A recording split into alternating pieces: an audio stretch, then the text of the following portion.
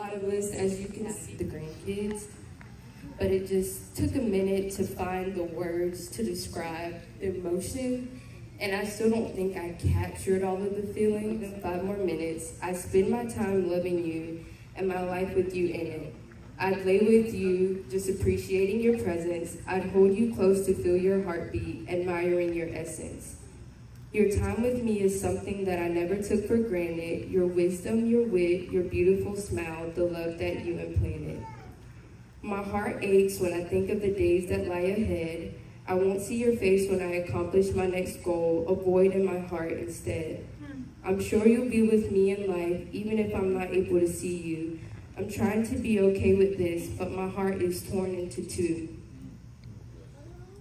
I know I can't have one more.